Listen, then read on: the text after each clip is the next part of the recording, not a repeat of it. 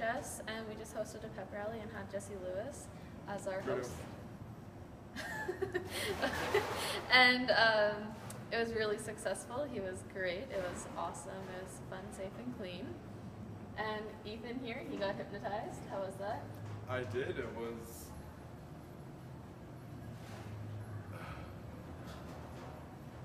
That's that's what it was. It was mind blowing. I just doing things that like I knew I was doing, and it was just it was unbelievable.